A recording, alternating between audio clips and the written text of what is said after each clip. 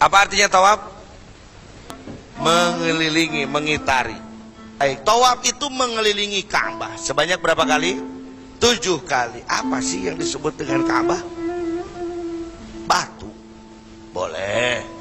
Ka'bah itu ngejenol. Apa itu ngejenol? Itu bahasa Indonesia Nonjol. Kayak seperti ini. Kekemirian. Depan bahasa Sunda muncangan. Nah, mata kaki nonjol. Nonjol.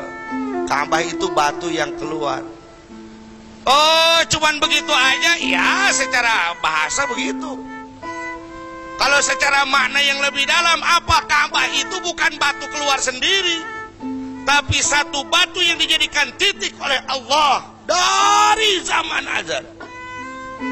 Apa Ka'bah? Latifatul ardi, latifahnya bumi. Manusia mulia. Latifatul ardi itu apa itu namanya? Uh, latifahnya bumi. Latifatul ardi, latifahnya bumi, pusatnya bumi, pusat porosnya bumi, pusat titik ruhnya bumi.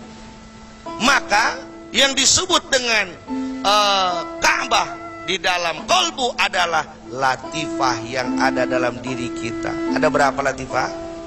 Tujuh. Biasanya saya suka dibikin lagu perintah almarhum. Latifatul qalbi latifatul ruh. Latifatul sirri latifatul khafi. Latifatul akhfa latifatul nafsi.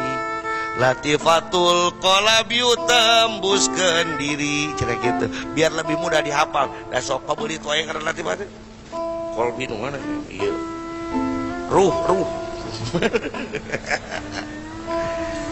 Lalu yang tujuh ini dikelilingi minimal 165 kali dengan kalimat thayyibah la ilaha.